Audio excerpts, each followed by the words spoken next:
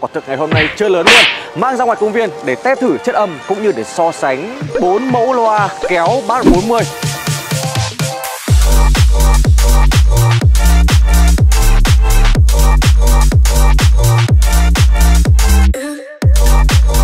vâng, xin chào quý vị. À, ngày hôm nay Hữu Duy và Nhật Trường mang 4 mẫu loa kéo Bass 40. Quả thực ngày hôm nay chơi lớn luôn.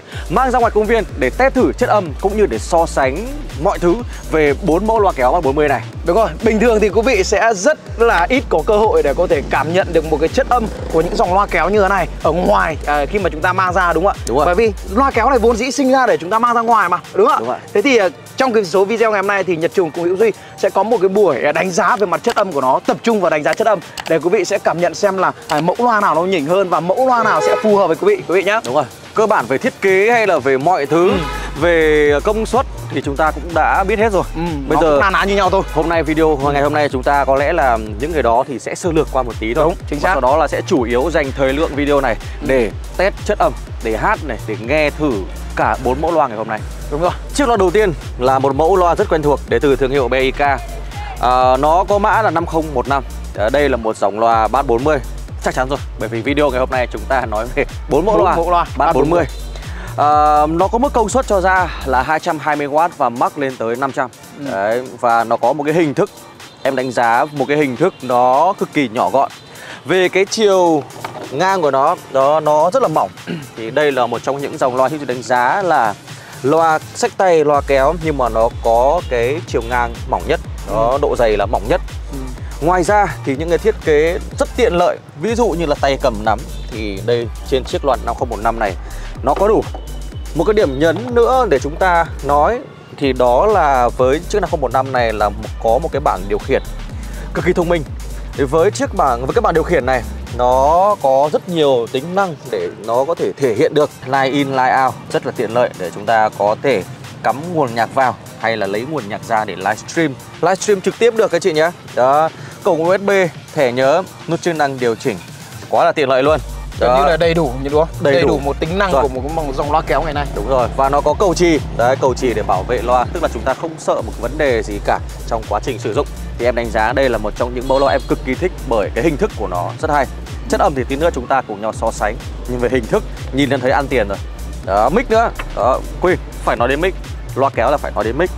Thì chúng ta có thể tùy chọn được cái kiểu pin Pin sạc hay là pin AA đều có thể ờ, sử dụng được. Và với một cái thao tác rất nhanh gọn và đơn giản thôi. Tháo ra và thay cái đầu khác vào đó, trong thùng nó cũng đã có sẵn những cái đầu để chúng ta thay cho sẵn cho chúng ta luôn rất tiện lợi đúng không ạ Ừ.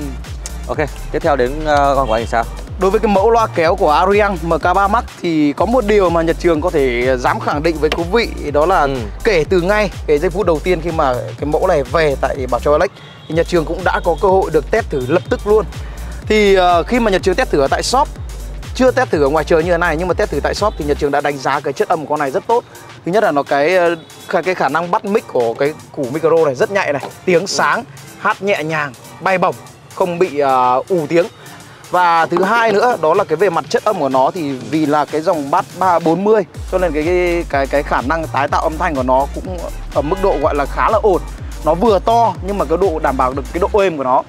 Thì con này công suất của nó sẽ là 350W 350W thì à, đối với cá nhân Nhật Trường đánh giá rằng một cái mẫu loa kéo tầm cỡ độ 350W là chúng ta đã có thể đánh được ờm, khá là dư giả bên ngoài rồi đúng không? to đấy Ừ. không nhỏ đâu to đấy Đúng rồi, đánh đã đánh được khá là tốt bên con ngoài. này có 220 thôi mà con này Ừ. 350 to đấy Thì theo em cái khóa 220 của em thì đánh nó có hơi bị loãng ở ngoài không? Em em đừng không loãng đâu Ừ. bởi vì cơ bản chủ yếu là cái chất tiếng nó cho ra như nào thôi Ừ. còn đâu là 220 hay là 350 nó cũng chỉ chênh nhau một chút khi ra ngoài trời thôi Ừ, đúng không rồi. quá nhiều Ờ, về cái mặt thiết kế của nó thì vẫn à, đúng như cái phẩm chất của những dòng loa kéo ngày nay thì đầy đủ mọi thứ không có gì là khác biệt cả.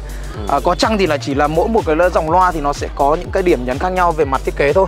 Còn nó vẫn có đầy đủ tất cả những tính năng từ các cái cổng kết nối thông minh ví dụ như là optical là cổng mạng hay là bất kể những cái hiệu ứng eco reverb thì nó vẫn đều tích hợp trên cái dòng loa như thế này. cái này nó cũng hay nhỉ nó Ừ. là góc vát xuống này Ừ. đó, để chúng ta nhìn dễ hơn điều Đúng chỉnh rồi, dễ hơn dễ hơn, điều chỉnh cũng dễ hơn.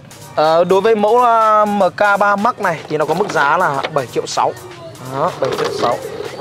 Và với mẫu loa tiếp theo, mẫu loa thứ ba thì đây nếu chưa đánh giá đây là một mẫu loa nó có thể kêu to nhất ở trong cả bốn mẫu loa ngày hôm nay.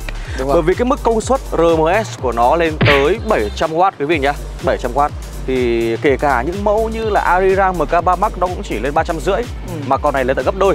Ờ, nhưng mà nó là thông số kỹ thuật của nhà hãng công bố thôi.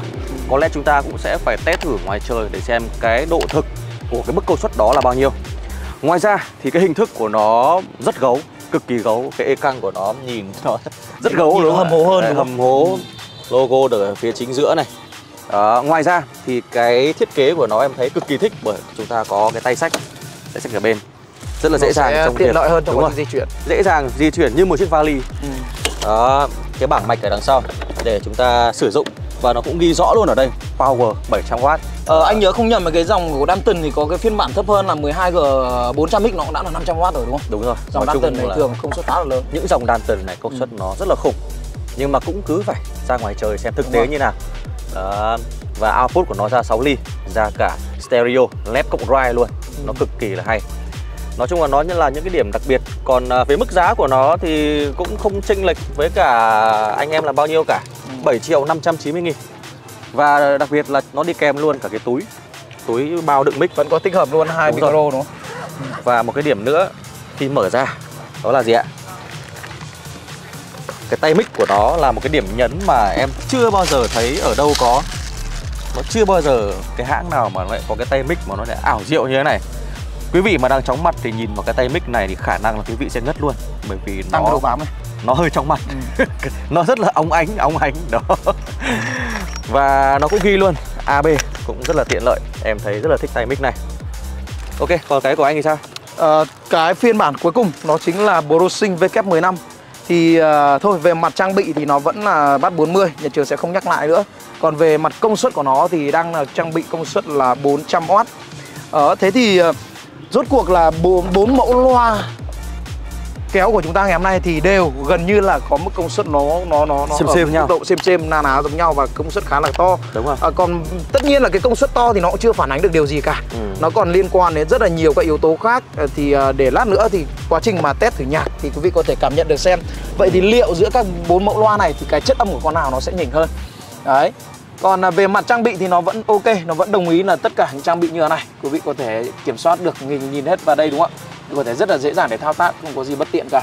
Về mức giá con này thì nó đang được à, bán với mức giá là 7 triệu 580 Ừ. đó nó cũng tựa như con Danton kia. Nhưng mà con ProSync này có một điểm em cực kỳ không thích. Ừ, là gì? Anh biết là gì không? Người mẫu để hơi nhiều dâu. Em nghĩ phải đến cạo đi cho nó đẹp chứ để nhiều nhắc, dâu này. nhắc đến phần hộp này thì chúng ta vẫn có mic đi kèm quý vị nhá. Tất cả những dòng loa kéo ngày nay thì đều có mic đi kèm hết. Đó. Còn có cả điều khiển nữa. Đấy con Ừ. này nó lại xịn hơn một tí nó có điều khiển. Rất là tiện lợi để trong quá trình mà chúng ta hát thì có thể ờ, điều khiển từ xa luôn. Ok. Thì có lẽ là về thông số các thứ thì Ừ. anh em mình cũng sơ lược qua một tí rồi. Thì bây giờ ờ, chúng ta sẽ cùng nhau test thử chất âm của cả bốn mẫu loa kéo Bass 40 ngày hôm nay quý vị nhé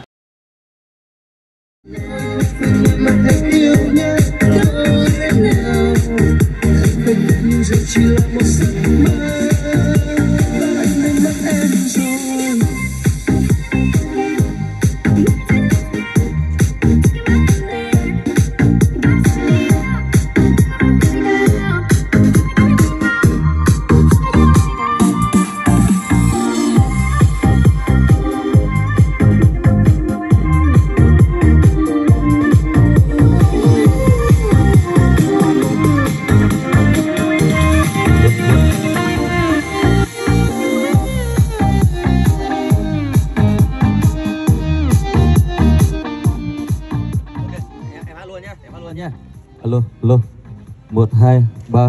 alo alo một hai ba bốn. Giờ con cao ok.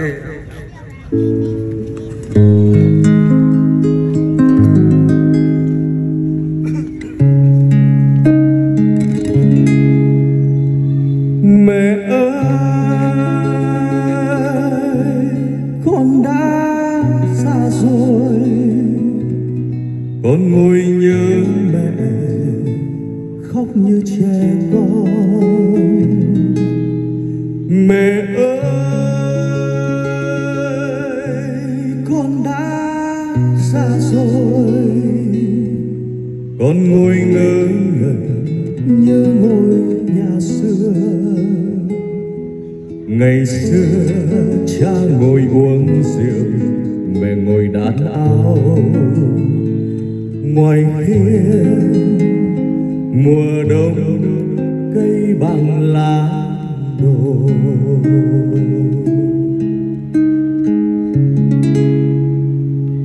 Ngày xưa chỉ hát vu vơ những câu ca cổ cho em nằm mơ. Ngày xưa mẹ đắp cho con tấm khăn quàng cổ, ấm hơi mẹ tôi ngày xưa bên giường cha nằm, mẹ ngồi xa vắng. Nhìn cha, thương cha chỉ lớn chưa thành. Biển sao thế cao, một ngày nhớ mẹ sóng trào tới xa. Trời gió mây ngàn, một ngày khóc mẹ trong ngàn sao rơi mẹ ơi thế giới mênh mông mênh mông không bằng nhà mình tuổi thơ như chiếc cối êm êm cho tôi ra mặt lục một hai hai ba Anh ờ, Trường thấy thế nào? Ổn không? Được cái tiếng ở con này thứ nhất là cái tiếng anh thấy cái tiếng echo reverb nó mượt đấy Ừ. nó không Nó- bị rối Nó trộn hay đúng không? ừ. Riêng rối. cái dòng BK này nó trộn effect và em thấy tiếng cực kỳ tốt. ừ. cái tiếng của nó anh thấy bắt nó cũng dày nữa Đúng rồi. ừ. nó có đạt, được độ dày nhất định của nó Nói chung là con này phóng ra ngoài trời. Mà đây là mẫu nhỏ nhất nhá. ừ. 220 đúng không Ôi, vừa nãy anh đứng từ xa anh nghe thấy ổn không? được nhưng mà nếu như ở khoảng cách khoảng tầm độ 10 15 mét thì anh nghe thì nó dày âm hơn 10, 15 mét. ừ, còn trên À. đó thì anh nghe thì nó Ừ. sẽ bắt đầu có hiện tượng mỏng hơn một chút rồi Tức là cái độ phóng của nó nó chỉ Ừ. trong một khoảng nhất định đúng không? đúng rồi Khoảng bao nhiêu mét đấy? ở, ở cái khoảng tầm độ 10 15 mét gì đó thì chúng ta nghe thấy chất âm nó rất là dày 10 15 mét. Ok. Ừ. Ok, giờ tiếp theo đến con này đi. Uh, Adirang MK3 Max con này là 350W nhỉ? đúng rồi 350 w Ok, anh xét đi để xem mà tiếng Ok. nó như nào.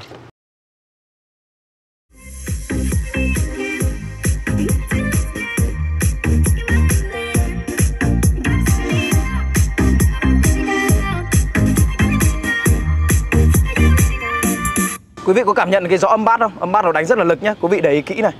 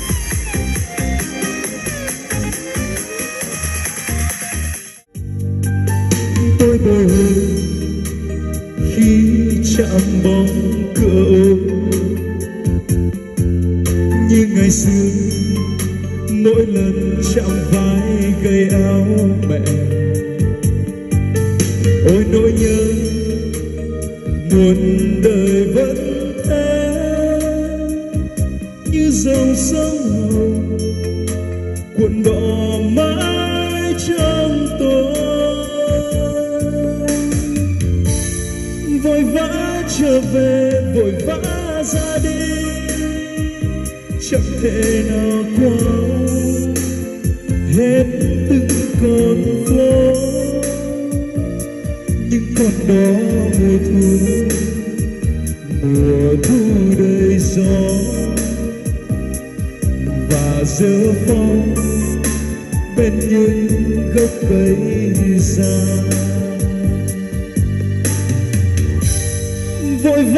trở về cùng tháng năm xưa.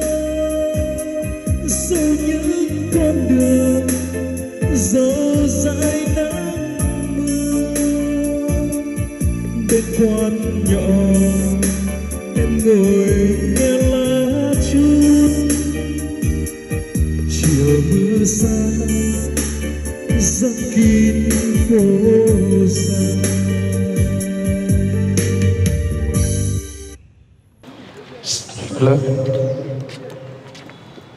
con này con này hay đấy con này hay đấy Được không? con này em thấy em đứng ở ở xa cách khoảng tầm uh, 20 mét mà tiếng của nó vẫn tốt Nó nhỉnh hơn con kia một chút không? Chứng tỏ là con này 350 nó cũng phải nhỉnh hơn 220 một tí Ừ, đúng không? rõ ràng cũng là một phần đấy bởi vì cái Đúng công rồi. suất nó sẽ đủ để khuếch đại được hơn Ừ. Mạch công suất này là tốt hơn hẳn. Ừ. Đó, và con M, con con MK3 Max này em thấy tiếng nó cũng nhỉnh hơn một tí so với con BK. Ừ. em nghe cái tiếng echo reverb nó như nào Ừ. Tiếng này là trộn hay đấy. Nhưng mà để về effect thì nó không bằng con BK, nhưng mà cái tiếng nhạc của nó lại tốt hơn. ừ. Nó mỗi mỗi cái nó lại có một cái điểm khác biệt một tí. Ừ. Ok. Bây giờ đến con ờ, khủng nhất đi. 700. Anh thử về trung kính xem à, em hát nghe gì không? ok, về trung kính nhá. Con này em giếc 700W này à, Phóng qua trung kính luôn.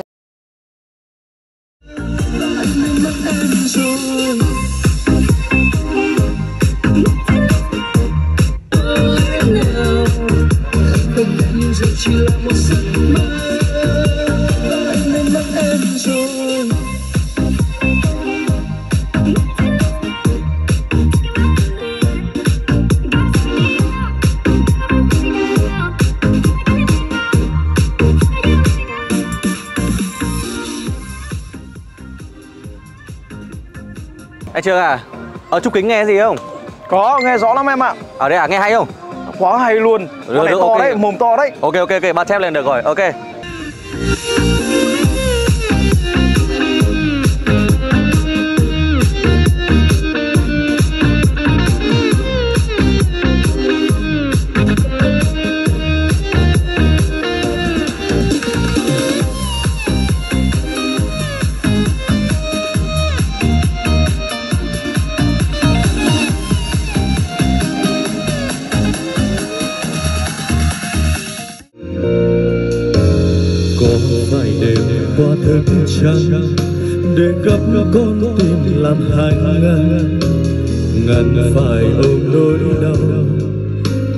Trái chưa hạt nhiệm màu, kiếp sáng mang đến làm quà cô dâu sợ mai kia sương phai, hoa úa áo nhau.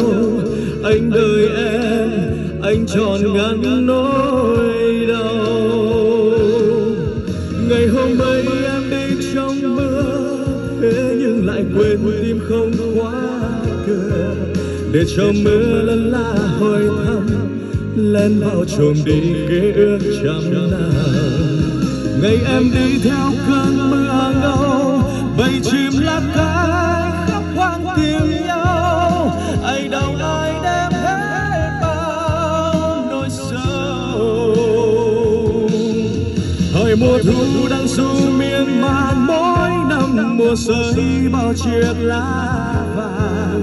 Liệu cô biết nơi nơi nào không hơi diêu bông ơi hơi diêu bông bình minh chưa hết tôi phải tìm sông vì mai người ta đã đi lấy chồng ờ em à sao lại dừng ấy Ờ, có con nữa mà em xong rồi. Có con nữa đi anh về đi, anh về đi để để để review lúc con nữa đi. ok ok ok ok thế để Anh ở ra kính nghe ổn không? ờ, anh nghe được nghe được nhưng mà Ờ, tự dưng đang à? hay tự dưng chú bị dừng Ờ, Được rồi ok, để anh ok, phi ra ok, nhá về nhá. ừ, ok Ô, sao đi lâu thế? ui trung kính xa mà em ơi xong chưa xong chưa xong chưa Thì bên trung kính ờ, tiếng ổn không? được được được anh nghe thấy được đấy Hay à? tiếng dày được Ok, thế thì anh nốt con này đi. ok Xong lại đây là nốt con này anh Ok. anh em kết thúc video nhá Rồi, nốt con này. ok được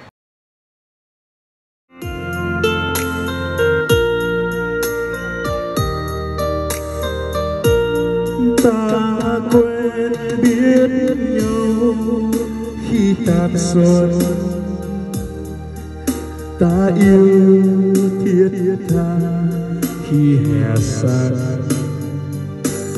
và khi thu đến, anh gom ánh sao, cho đêm đêm kết thành vương miện để mùa đông đám cưới đôi mình em mới xích lại thật thật gần bên anh. cho anh siết chặt nụ cười xinh xinh. Từ đây những đêm trong thành đầy, mình không lẽ loi, không u sầu. Nguyện cầu ta mãi bên nhau.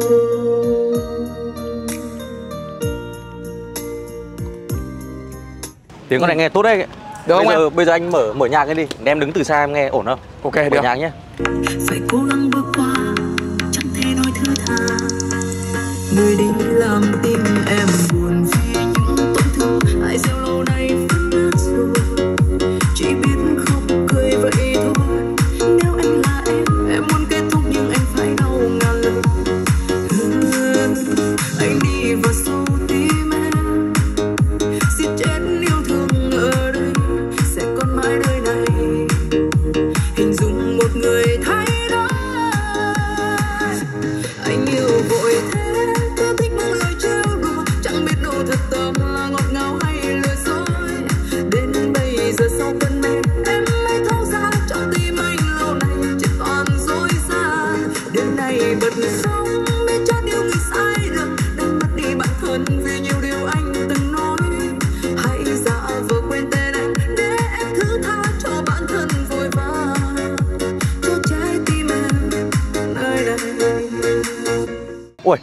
con này nghe hay đấy con này công suất đánh hay đấy nhưng À. mà em nghĩ là con này nó chỉ tương đương với con Arirang đấy tức là khi Ừ. ờ, cùng cái cái ờ, cái khoảng cách đúng không? đúng rồi khoảng tầm 15 20 mét nghe tiếng con này nó sẽ tốt Ừ. nói chung là đúng là chỉ có mỗi là quả đan tần này Ừ. là anh em mình ờ, em hát ở đây mà anh ở trung kính thì nghe được đúng không À, còn con này có một nhược điểm nữa đó là đó là con này nó không có reverb. Thành ra Ừ. anh hát bằng à, delay với lại à, echo, Echo cho nên nó hơi nặng và nặng. hơi khó hát một chút. Không không sao cả Ừ. Ờ, echo Chủ yếu nó- mình quẩy đúng không? đúng rồi chủ yếu là cái tiếng nhạc của nó cũng tốt À, vừa rồi thì quý vị đã cùng Nhật Trường và Hữu Duy đi trải nghiệm về mặt à, chất lượng âm thanh của bốn mẫu loa kéo ngày hôm nay rồi. À, thực sự thì bốn bốn mẫu loa kéo ngày hôm nay thì đều là bass 40 cả. Cho nên là nó đều phù hợp được với những không gian ở ngoài trời. Cho nên là quý vị hoàn toàn có thể thoải mái để sử dụng quý vị nhé. À, vậy thì ý kiến của quý vị như thế nào về mặt chất âm của nó thì cũng có thể cho Nhật Trường cũng Duy xin ở phần comment phía dưới. Còn à, cách thức liên hệ để mua hàng thì quý vị biết rồi đúng không ạ? Quý vị hoàn toàn có thể gọi điện qua số hotline của Nhật Trường là 0985 357 466 hoặc hoặc là số của Hữu Duy thông Ừ. qua số điện thoại là 08 666 93 631. Quả thực là khi chúng ta mang những dòng loa kéo to như thế này ra Ừ. ngoài trời thì có một cái cảm giác chơi nhạc nó khác so với là chơi ở trong nhà chính xác và nó phù hợp hơn với những không gian ngoài trời quý vị nhé. Nó sẽ thoát được tiếng hơn. À, và nếu quý vị có nhu cầu à, sở hữu cũng như test thử hoặc đặt hàng thì quý vị có thể liên hệ với hai anh em hoặc có thể liên hệ đến hotline của Bảo Châu thông qua số điện thoại là 1900 0255.